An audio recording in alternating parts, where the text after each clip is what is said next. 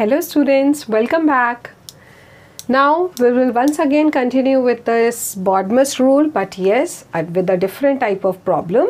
If your problem is in the word form that means it means being asked not in the simplified numerical format but in the word format and how to solve this so very first it is required to understand what is being said in the statement and then you have to convert it into a simplification statement so here the question is divide the product of 10 and 8 what you have to do divide the product of 10 and 8 by the difference of 12 and 2.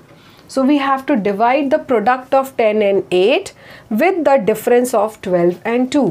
So in the first step of solution, very first we will write this word problem in the numerical format.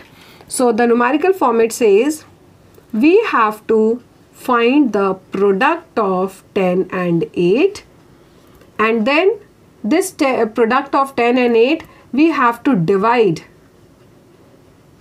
by the difference of 12 and 2.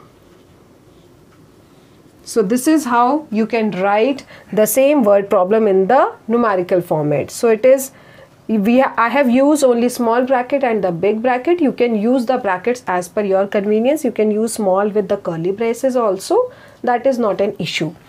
Now let us solve once we have done the conversion of word problem into numerical format let us perform the operations now. So very first we will solve the terms inside the bracket.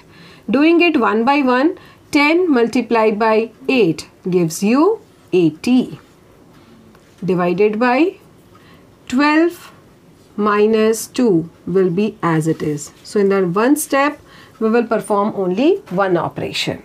In the next step, it is 80 divided by, now what is 10, 12 minus 2? Answer is 10. Solving up at the last, 80 divided by 10 and this will give you answer as 8. So this is how you can solve a word problem related to simplification by converting it into numerical format and then solving it up according to the rule of BODMAS. Thank you for the lesson.